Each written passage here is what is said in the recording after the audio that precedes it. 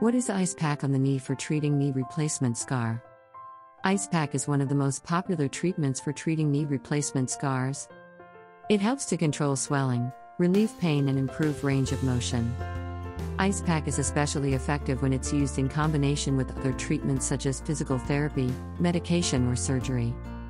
How to use ice packs for treating knee replacement scar.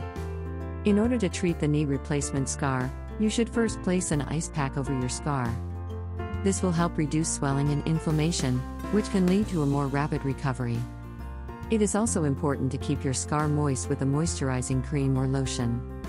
What are the benefits of using ice packs for treating knee replacement scar? Ice packs are a great way to treat knee replacement scars because they help reduce swelling and inflammation.